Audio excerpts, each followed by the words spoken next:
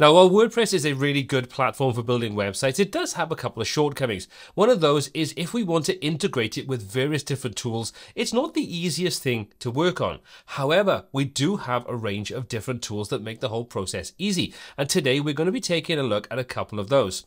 So let me just paint you a simple picture. You've got a website you want to take bookings on, so we're going to use a plugin to do that. And then when you actually take a booking, you want to create a new user, assign them a specific role. You also want to connect things up to a Google spreadsheet and add data in there so you can process that externally. And if you wanted to do more steps, you could do all that. So let me show you how we can do that using a couple of different tools in WordPress.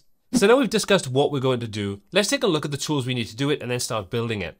So first of all, we need some way of taking bookings. And for that, we're going to be using Amelia, a WordPress plugin that's over currently on AppSumo on a lifetime deal, at least for the next couple of days. So you may want to grab this if you don't already have it, or you can use any other kind of tool.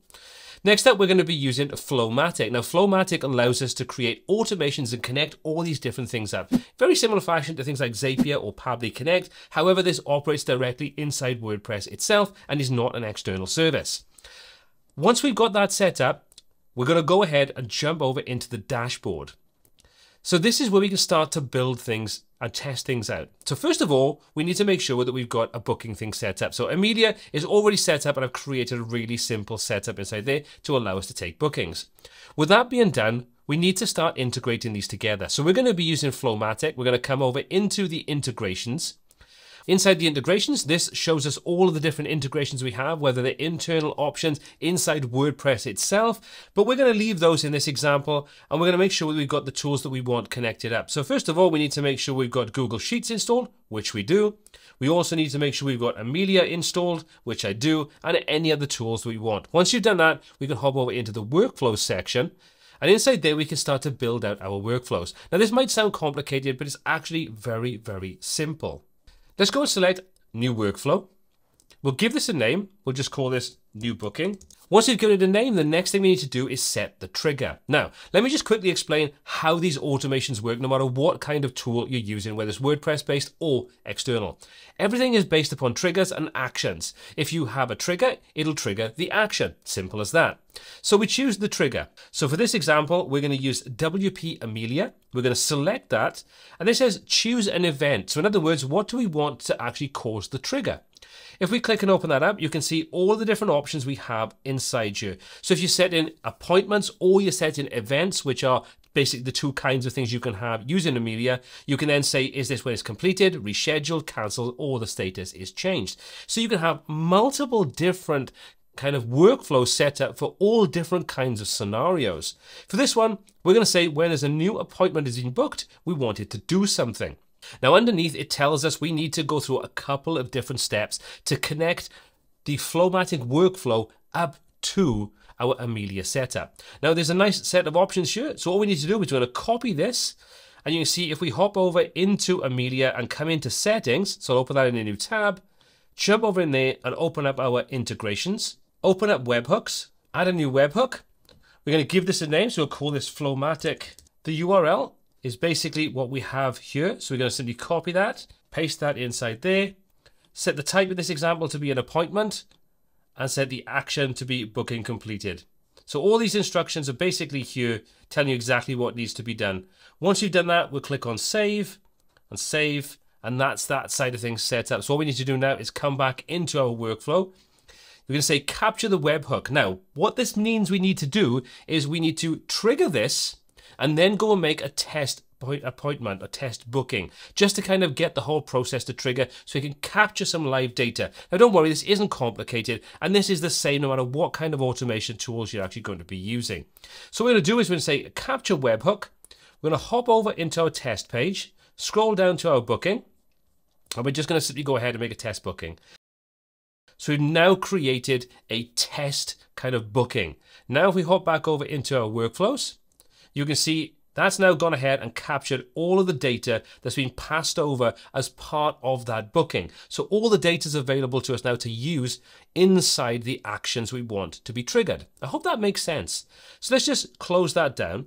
So now we've already gone ahead and completed the trigger. So now we need to say, once this is triggered, what do we want it to do? So we said we wanted to create a new user inside WordPress. So let's click on the plus, and you can see this is now what action, so the trigger and the action. We're going to choose the application, and we're going to say, for this example, we want WordPress. You can then choose the action event. In other words, what happens when the trigger is triggered. We're going to say new user. We can say then we've got username, email, first name, and so on. So where do we get this information from? Well, this is what comes from the captured data in the previous step. So what we need to do is come over to username. We'll click on the little database icon and it says select data to map. And underneath you can see we've got WP Amelia appointment booking completed. So if we click to expand that, there's all of the data that the trigger has triggered and sent over via the Amelia booking. And this is the reason why you need to run that test first of all. So all we need to do is go ahead and grab the username. So if we scroll down for this, we're going to use the email. So if I just type in email, that will filter things down. And you see booking customers email, we'll select that. We'll do the same again now for the actual email. So we'll click, we'll just type in email one more time. We'll choose the booking for the customer's email. And we'll do the same thing then for the first name and the last name. So again, we'll select, open that up, name. You can see we don't want the provider. We want to make sure we choose the bookings info array, the first name. Otherwise, we just transfer over the information of the actual kind of account holder. So we'll choose that from there. We'll do the same thing again now for the last name. So we'll just click, do name one more time, and we'll say the last name. And finally, we've got the password. And you can see this gives us an option to say generate the password automatically. So we'll just say to do that, and that will send an email over now as part of the sign up process for WordPress. And the new user can create their own password should they want to. Next up, we've got the user role. So what we can do is we can click on here and we can choose the WordPress user roles.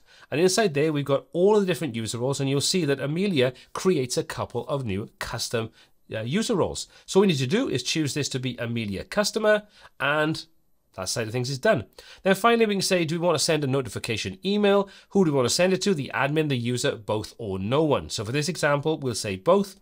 So that when a booking is made, there'll be a notification email sent to both the user who signed up through the booking and also the admin of the website.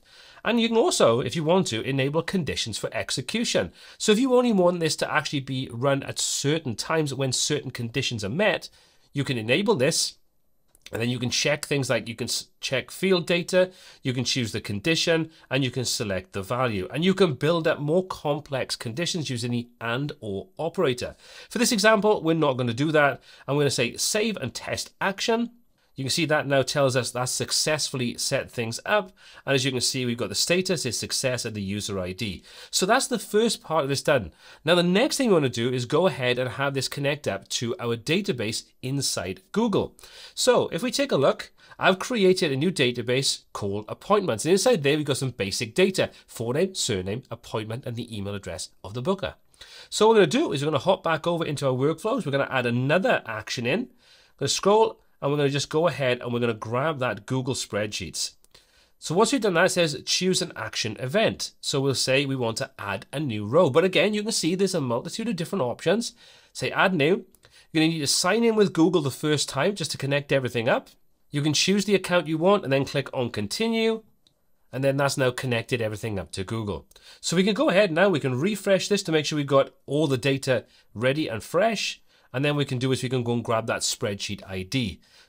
So you can see we've got the Google Spreadsheets Live Sync. We'll click on there. There's any of the spreadsheets you've got inside our account. So any of our Google Sheets, we'll choose the appointments one in this example.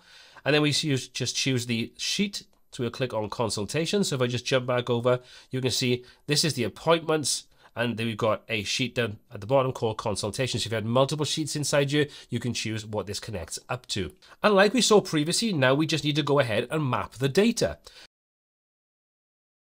And if we hit the save and test action, this is going to use that data that we triggered right at the beginning and transfer this over just to check everything works. So you can see that's now successfully connected up. All the results are displayed underneath. And if we take a look at our Google Sheet, you can see there's the data transferred over into our Google Sheet from WordPress. So now what we need to do is come back over to this. We'll hit this and set this into be live and say save workflow. So that basically has now set everything up for our three-step process. So when someone creates a booking, it'll now add them to the WordPress site, give them a username and all those kinds of things. It'll also add them to the Amelia database and everything that goes with that, so your appointment is stored there as well. And it'll create an entry inside your Google spreadsheet. Pretty cool. So let's go ahead and test it out. We'll refresh just to make sure everything is all up to date and working perfectly. And let's go ahead and create a new entry. So we'll say this is for the 31st. We'll set the time we want. We'll hit continue. No, this isn't repeating. I'll insert my information and we'll click on continue. We'll confirm and we'll say finish. So now everything has gone through as we would expect it to. So if we now jump over into, first of all, the Google Sheets, there's our new user. If we hop over into our WordPress website and come over into our users and all users, you can see there's our new user with the name and everything else transferred over, an Amelia customer. And if we take a look inside Amelia itself and we've got appointments, any or all of the appointments are set up inside there, the consultations, who it's with, and all those kinds of things. So this is how we can create a much more powerful setup connecting various different external components using some simple tools like Flowmattic, Amelia in this example for the book inside of things, Google, all those kinds of things. And there's so many different ways in which you can use this. This is just the tip of the iceberg when it comes to working with automations inside WordPress. Now, if you'd like me to show you exactly how I've set things up for some of my sales funnels and so on, all the different tools I've used and how I connect everything up together, let me know in the comment section down below. As always, all the applicable links are in the description. My name is Paul C. This is WP Tuts, and until next time, take care thank you